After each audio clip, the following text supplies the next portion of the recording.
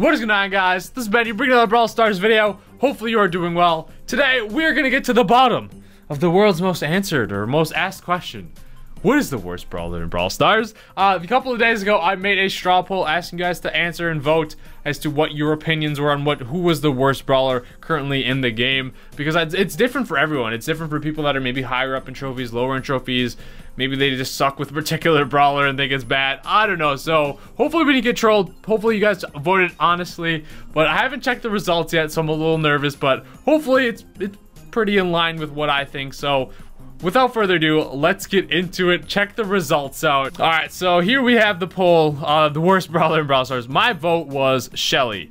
So I hope she's near the top, but I get like, I don't know, it depends what trophy range a lot of you are watching are at, because I get like, up in the high meta, she's really easy to play around um, because people know what to do kind of. But early on, there's just so many of her. And that's like a brawler you see all the time that she does feel a little overwhelming. I get that all the time on my power level 1 series where it's like I'm so annoyed at Shelly's by the end of the day. And I don't think she's the worst brawler. But in the above 500, I do think, in the, except for some specific modes. But let's go over the results here. I'm going to try not to look at the top and just scroll right to the bottom right. I did not see it. Okay, so Spike got 27 votes? Who is, I mean, it's 0% still, but who the heck is voting for Spike on this survey here? Spike is not the worst brawler in Brawl Stars. He's been one of the best brawlers in Brawl Stars for a very long time. And I'm also glad that we have Carl down at the bottom. He's like probably the best brawler right now. He still got 55 votes though. I get his little bit higher skill cap. Um, but Carl shouldn't have gotten any Pam was dominant for so long. She's not as good as she once was, but she's still very, very solid. So I'm, I'm okay with the 1%. Rosa! How did Rosa get any votes? She's like the most easy brawler to play, and she's super dominant even after so many nerfs. Nerfs. And same with Leon. Oh my goodness. So these are probably troll votes here. We got Jessie. Jessie, I could see the argument because her attack is super slow.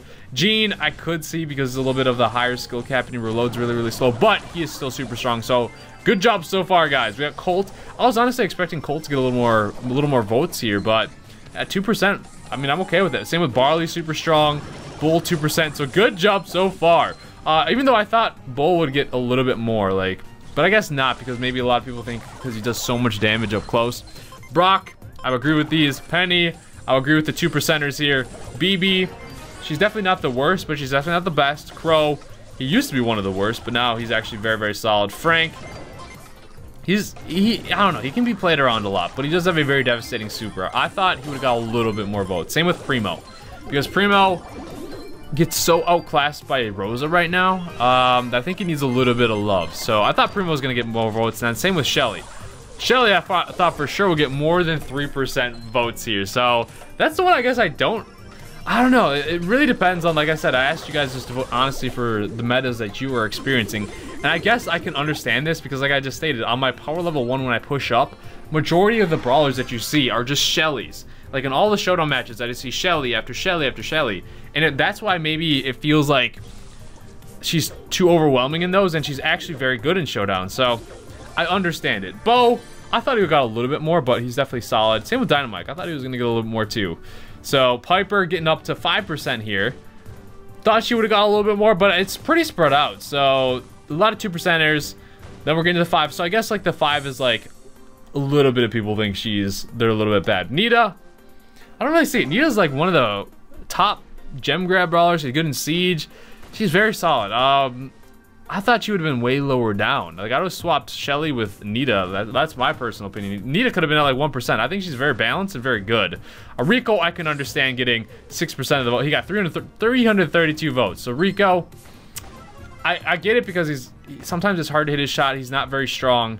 And now we're getting to the top here, so I can obviously see it now. But next up, we have Tara at 6%. Wow, she has fallen a lot. She used to be a very solid, good brawler, good choice. But she's just teetering off into almost non-existence because I don't know, it just takes way too long to get her super and she's not very good in a lot of modes.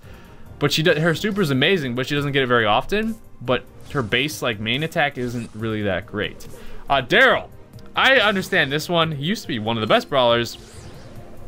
Ah, it's just like when you don't have his star power, he's not as like he's not very good. And I feel like not a lot of people have been able to get him to a star power. I feel like that's a very like maybe 1% of all players and probably less than that. Probably less than all players in Brawl Stars that are, I think of like the entire population play Brawl Stars. Probably less than 1% actually have the Darryl star power. So I can see this as why many people think he's not very good because he, you have to play him as an assassin, uh, even though he is a shotgunner, like jump on the weaker brawlers. But still, if you don't have the star power, he still dies super quick. Oh, we got Mortis. Oh my god, at 999 votes. Oh, is, uh, is this the Illuminati up here? Is this good luck or uh, uh the devil is at what 666? I don't know, but either way, Mortis. I was expecting him to be number one or number two, so to see him at 17%, that's awesome. Now keep in mind, there's only like 6,000 votes here, um, and a lot more of you watch the video. So next time I do this, please vote. We get those more, but it's still, wow. I was not gonna, I was not gonna expect Poco to be the worst brawler in your guys' opinions. But Poco, you are the worst brawler in Brawl Stars. How does it feel coming in with 1,223 votes? Mr. Poco. Oh, okay. Well, I guess, okay. I can understand the Poco argument because he's outclassed by like all the other gem clears at the moment. There's only one specific comp where Poco is like really, really awesome. It's like when you have a lot of tankier brawlers and they're trying to rush up. Um, like let's let's say for instance like Poco and Rosa, Rosa are really, really strong. Poco and Primo are really, really strong together because they can just be super aggressive, trying to like push the enemy team, and then Poco can just heal them up right away, and they can continue to be aggressive. So Poco, I get it. Plus, he he feels like when you're when you're on par with power levels with Poco, he does not feel like he does a lot of damage. He is a short range brawler, even though it has a wide range. But Poco just does not deal a ton. So I definitely get that. I really get Poco and Mortis. So I, I guess after talking through here, I get it. So good job, guys. The only one I don't really agree with, but I get where everyone's coming from is Shelly, but that's just from the meta up at the top. But again, I go back to it. I see it at the, she's just over, I guess I think what it is is she's just overplayed and annoying. Um, because she's the first brawler you get. A lot of people maybe just push her up a lot. She's seen a lot in Showdown. And I guess a lot of you probably watching, I don't I don't want to generalize here, but I feel like a lot of you watching really gravitate, and most players I talk to, um, a lot of them just play Showdown. And I feel like Poco was not good in Showdown, so that heavily influences his too, like influences the decisions too. But I get it. And then Mortis obviously sucks in Showdown too, because all he does is run away usually uh, and try and team and get just survive. Basically with Mortis, it's not like usually taking out people. Maybe you maybe you're able to steal a kill if someone's weak or steal some power cubes. But a lot of times I feel with Mortis, you're just in general just trying to survive until the end. And I feel like unless Rosa gets nerfed or like even Carl, Mortis is going to be kind of falling out of favor here. So Mortis and Poco for you guys, I agree. I'll have to say that. So I'd say good job on the list. Now, I haven't pushed up Bibi just yet uh, to 500. I've been really slacking on that. I've been just focusing on the power level 1 accounts, or power level 1 account right now. Do you agree with the, the community vote here? Do you agree with Mortis and Poco being 1 and 2, and then Darryl being 3? I, I, I honestly, I can see it. I definitely can. Uh, like I said, it was only around 6,000 votes. I'll try to get more engagement and everything for my next ones, but still, that says a lot. Or maybe people voted and were trolling on some of them too. Keep that in account, but for those of you that voted honestly and truthfully, I appreciate it. I think we did a good job. Match matchception right there, right? Um, I haven't pushed with Bibi a whole lot just yet. Um, she's very solid. She's with her star power too. With that movement speed is really really good. I just haven't. I've been mainly playing like aside from that Twitch stream. Oh my gosh, Nita, please don't die. Noob, noob alert. No, I'm just kidding. Um, this guy's walking right to our right to our spot. So hopefully I just evade all my teammates. Got to get this Poco out of here. So I'm really really weak, but. What was I saying? Oh yeah, Bibi, I've been playing on my power level 1 account, trying to push up the power level in Brawlers 500. You guys really seem to like that. And I like pushing like that. I think it's like a challenge. It's a, obviously it's a struggle sometimes, but it's really, really awesome. So the next one I'm doing is Colt. I have him around like 300 trophies right now. But I'm trying to push him up. And I really haven't been playing on my main account a whole lot. So I haven't had the time to push Bibi up. So I just got destroyed two more times in a row. So I can't like explain what I'm trying to explain while playing. I don't know why. But basically what I was just trying to say is like, I, I think I already said this. I don't really remember, but basically, I just want the meta to always be revolving. The brawlers that are bad become kind of like meta relevant or good, and then it's just always changing because I think like two months of a meta is way too long. Um, it gets kind of stale and I'm okay like if uh, ideally every brawler becomes good. But like another thing is like what's hard about Brawl Stars balance is like star powers. Some brawlers are like very very good early on but then as you get up higher to trophies they're maybe not as balanced. And like like let's say about above 500 trophies. A lot of people already have star powers and whatnot up there.